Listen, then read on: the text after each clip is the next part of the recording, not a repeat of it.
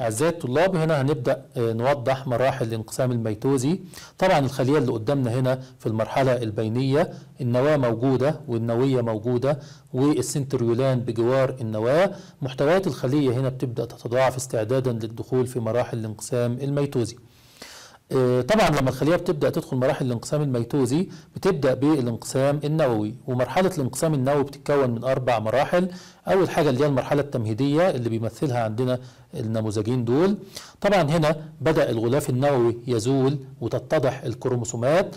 هنا السنتريولان بدأوا يتباعدوا عن النواة متجهين إلى أقطاب الخلية.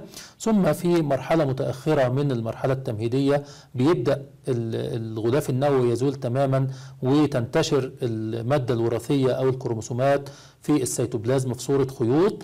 وبتبدأ السنتريولان أو بيبدأ السنتريولان في تكوين أشعة المغزل.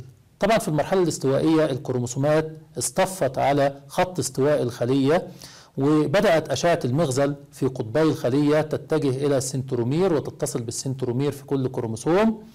وبعدين بعد كده في المرحلة الانفصالية آه، أشعة المغزل بدأت تنكمش ناحية الأقطاب مما أدى إلى انقطاع السنترومير في كل كروموسوم فانفصلت الكروماتيدات الشقيقة. كل مجموعة كروماتيدات اتجهت إلى قطب من أقطاب الخلية. هنا الخلية دخلت في المرحلة النهائية. طبعا زي إحنا شايفين بدأت تتكون مجموعة كروموسومية جديدة في كل قطب من أقطاب الخلية لأن كل كروماتيد بدأ يبني لنفسه كروماتيد جديد شقيق فتكونت مجموعتين كروموسوميتين جداد.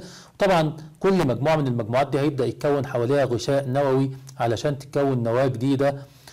قبل أن تدخل الخلية في مرحلة الانقسام السيتوبلازمي.